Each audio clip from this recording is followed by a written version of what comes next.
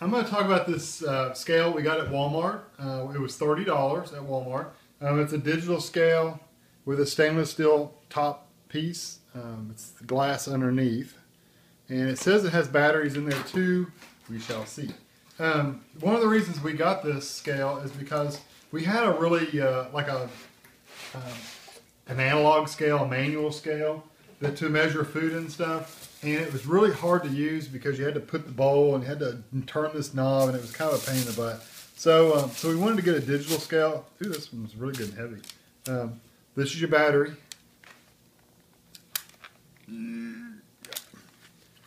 Easily pull these out. Um, yeah, please don't. There we go. That way your batteries won't run dead. That's why I put those in there. There we go. There's the display. That says error. I'm assuming I have to reset it. I didn't read the directions, so don't push on.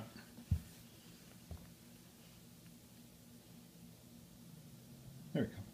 And what you do is, we wanted this to measure foods like M&Ms, chips, popcorn, whatever it may be.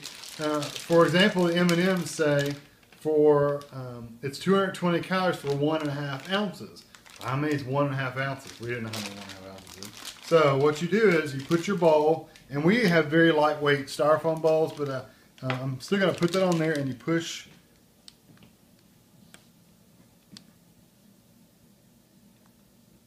Well, it should equal, should even out. There we go. Well, don't breathe on it. Don't breathe. And then I'm going to put one and a half ounces of serving size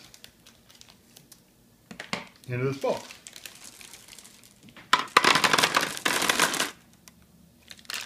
Too many.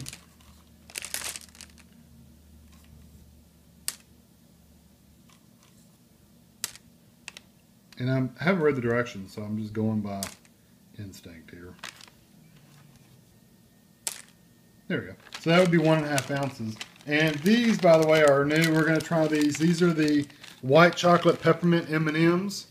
So uh, we're going to give these a try. How many calories is it for that many ounces? 220. 220 calories. And they were about $3 at Walmart, um, like most of the candy is. Um, I'm going to try one and give one to Tami, too, to try out.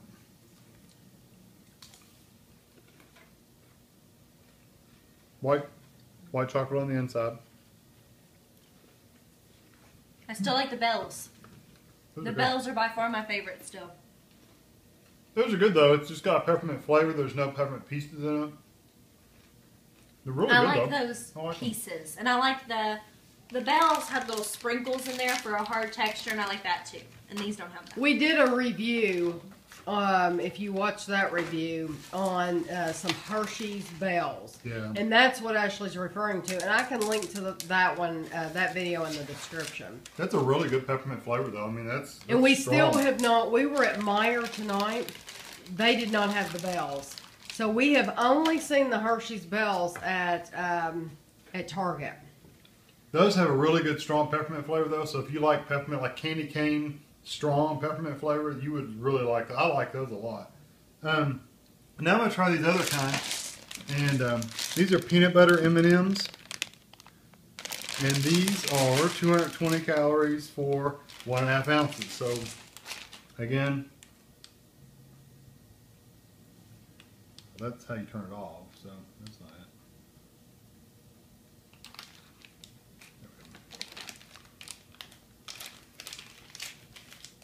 This this bowl doesn't weigh much, but if you had like a glass bowl or something like that, that would weigh a lot. So you want to make sure you you set your scale to zero when you put your bowl in there. Then put your stuff in the bowl while it's on your scale. Hmm. Because if you don't, it'll weigh your bowl too.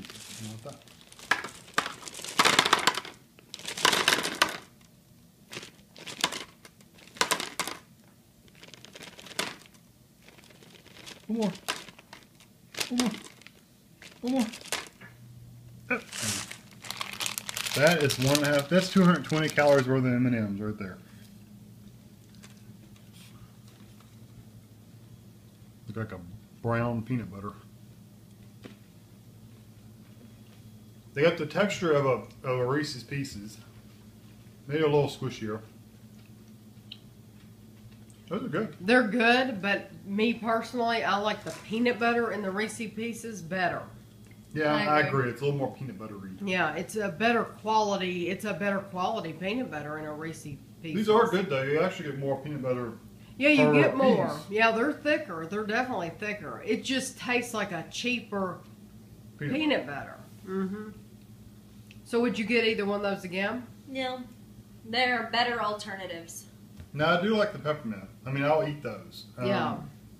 I don't know for peppermint. I like those a lot. So I don't know. I, the bells, I didn't eat a lot of those, so I don't know. But the peanut butter ones, I'd probably pass on those again. I'd probably just get Reese's Pieces because they are a little better and they are a little har- uh, firmer too. These are very soft peanut butter, so that's good. And now we got our new scale, so we can use it You for all think kinds you'll of stuff. like that for chips and stuff? uh, it'll be much better than our old one was. That's for sure.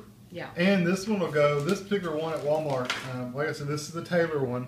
I think this one will go up to 11 pounds. Yeah. Has an 11 pound capacity. So you can mail um, small packages and things like that on uh, for mailing stuff too. So you want to mail a, a small box or something, you can, you can You said they there. had one that was uh, like forty dollars. I have a $40 one that's the biggest loser one. And the deal with that one is it has a little keypad on the front of it, and you can enter your foods. Like let's say it's a uh, an apple, and you could put your apple on there, and it would tell you, and you say it's an apple, and you it would tell you how many calories is in that apple based on its weight. So that's that's a neat gimmicky thing, but um, uh, We didn't can- need it for that. yeah, we didn't. We don't do that often. Most of ours, I hate to say it, we eat a lot of packaged food. Uh, we don't eat a lot of fresh vegetables and fresh fresh apples. We probably should eat more, but we don't. Um, most of ours is packaged stuff, so it has uh, you know weights and serving sizes on and calories on it. Um, if we do eat apples, oranges, things like that, we just uh, we look it up honestly. So uh, that's good if you eat a lot of fresh fruits and vegetables. Though that would probably be that might be worth the extra ten dollars to you, but it wasn't worth the extra ten dollars to us. So. After reading the directions, I understand how the tare thing works. What you do is you take your bowl, container, whatever, go ahead and place it on your scale, turn it on, and it should zero out when it comes on. See, it's at zero. Now we're going to add whatever. This is pretty cool feature. Like, let's say their example was if your recipe called for half pounds of beans and a half pound of rice, and what you can do is you can, now it's at zero, we add our half pound, I don't know how much this really is, but there's our half pound, our 10 ounces of beans, right? Now we want to measure, we can, we want to add a half pound of rice. So what we can do is hit the tare button, and it should go down to zero, is what it said. There we go. Nope. There we go. Zero, and now we can add our beans or rice, whatever the other ingredient was, and now you've measured out both ingredients accurately without having to take the first ingredient out and put the second ingredient in and measuring it separately. So you can measure it all, and if we want to add another, you know, 10 ounces of something, we can, I guess it just takes it a while. It zeroes out again, and we can add, uh, you know, whatever. And, and add, it keeps adding these separate weights up. So that's, that's a neat feature, especially if you're going to make like a recipe. Maybe it takes, uh, um, I don't know, flour is not usually measured in Regular pounds, sugar but- and brown sugar. yeah, but if it's weight, if it's by weight, usually those are by cups. But if it's by weight, you can put a, you know, ten ounces of one thing and then ten ounces of another. You can add them all into one bowl without having to measure them out into separate bowls. So that's a cool feature. So anyway, thought I'd let you know that.